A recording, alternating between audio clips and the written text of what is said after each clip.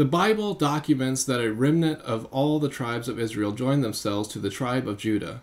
Out of all the tribes of Israel, such as set their hearts to seek the Lord God of Israel came to Jerusalem to sacrifice unto the Lord God of their fathers. 2 Chronicles chapter 11 verse 16.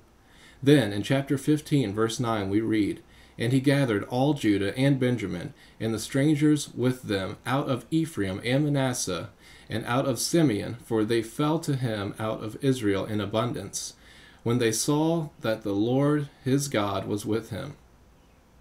Thus we see that the remnant of the ten tribes was added to the tribe of Judah, and in Judah the remnant retained its identity. After the ten tribe Israel was defeated, the kingdom destroyed, and the people deported, they ceased to exist as a national identity. This corresponds to the prophecy that Jacob, the first Israelite, made. The scepter shall not depart from Judah, nor a lawgiver from between his feet, until Shiloh come, and unto him shall the gathering of the people be. Genesis chapter 49, verse 10. Long after the ten tribe Israel has disappeared, God spoke through Ezekiel addressing the house of Israel several times in chapter 3. But this house of Israel consisted only of Jews. That means all 12 tribes. Later, when the church was founded and the temple still stood in Jerusalem, the apostle Peter addressed the Jews in Jerusalem as ye men of Israel. Acts chapter 2 verse 22. In summary, all Jews are Israelites, but not all Israelites are Jews. Except ye be converted and become as little children, ye shall not enter into the kingdom of heaven.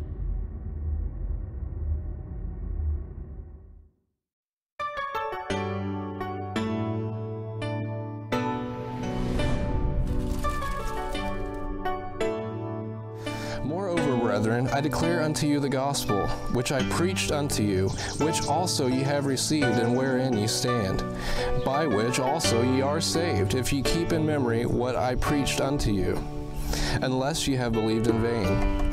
For I delivered unto you first of all that which I also received, how that Christ died for our sins according to the Scriptures, and that he was buried, and that he rose again the third day according to the Scriptures. 1 Corinthians chapter 15, verses 1 through 4. This is the gospel, the gospel of the grace of God, the good news that the Lord Jesus Christ, the Son of God, came to this earth, took, him, took on himself the nature of a man he was crucified and died for our sins, and he rose again on the third day. To ask you the most important question of your life. Your joy or sorrow for all eternity depends on your answer to this question. Are you saved? This has nothing to do with how good you are or if you go to a building called a church, but are you born again? John chapter 3 verse 7, Jesus said, "Ye must be born again." How can you be born again? First of all, you must realize that you are a sinner. Sin is anything in us that does not express or is contrary to the holy nature of our Creator, God. For instance, have you ever lied or cheated or stolen? These are all contrary to the character of God. The Bible makes it clear that all have sinned in Romans chapter 3 verse 23 when it says, "For all have sinned and come short of the glory of God." Because you are a sinner, you are condemned to death. For the wages or the payment of sin is death. We read that in Romans chapter 6 verse 23. This includes eternal separation from God in hell. It is appointed unto men once to die, but after this the judgment. Hebrews chapter 9, verse 27. But God loved you so much, he gave his only begotten Son, Jesus, to bear your sin and die in your place. He hath made him to be sin for us, that we might be made the righteousness of God in him. 2 Corinthians chapter 5 verse 21. Jesus had to shed his blood and die for the life of the flesh is in the blood. Leviticus chapter 17 verse 11, and without shedding of blood is no remission. Hebrews chapter 9 verse 22.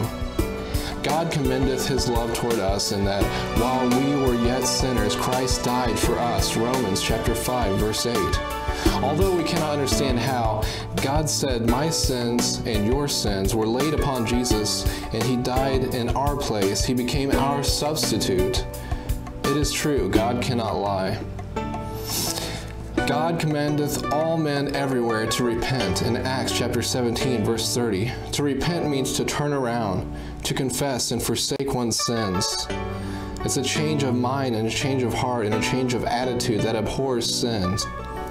It agrees with God that one is a sinner and also agrees that Jesus died for us on the cross. In Acts chapter 16, verses 30 and 31, the Philippian jailer asked Paul and Silas, Sirs, what must I do to be saved? And they said, Believe on the Lord Jesus Christ, and thou shalt be saved. Simply believe on him as the one who bore your sin, died in your place, was buried, and whom God resurrected. His resurrection powerfully assures that the believer can claim everlasting life when Jesus is received as Savior. But as many as received him, to them gave he power to become the sons of God, even to them that believe on his name. John chapter 1 verse 12. For whosoever shall call upon the name of the Lord shall be saved. Romans chapter 10 verse 13. Whosoever includes you shall be saved means not maybe nor can, but shall be saved. If you would like to learn more about sin, salvation, the Lord Jesus Christ, or anything else concerning the Christian faith, please visit www.acceptgbconverted.com. AcceptGBConverted.com is an anti church system, Trinitarian, free will, eternal security, King James only, Christian Zionist, Young Earth creation, Lordship Salvation Ministry, where you can learn sound doctrine, apologetics, hermeneutics, and more. AcceptYouBeConverted.com is mobile friendly and secure from hackers and malware with SiteLock. Are you looking for fellowship? AcceptYouBeConverted.com is a virtual community with daily visits from men and women around the globe. Each page includes a comment section there is a live chat feature that is available in the desktop and mobile version where you can chat with anyone on the site at any time. Join the fun on the message board, which you can access by clicking on the link on the footer or by going to acceptyoubeconverted.proboards.com.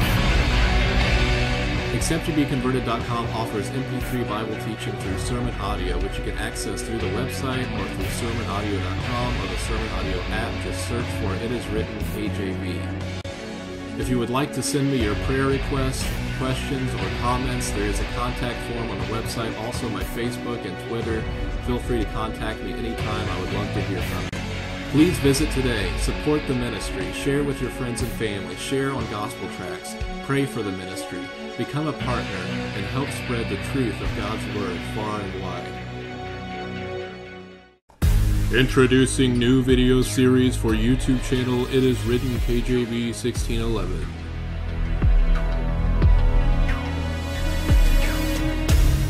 Bible Hermeneutics. Learn how to correctly interpret the Bible.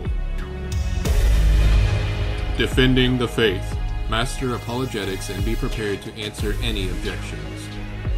KJV Bible Q&A. Answering various questions with the Bible.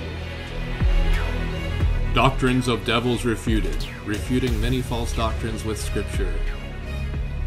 False Church System Exposed, exposing the many problems within the modern church system.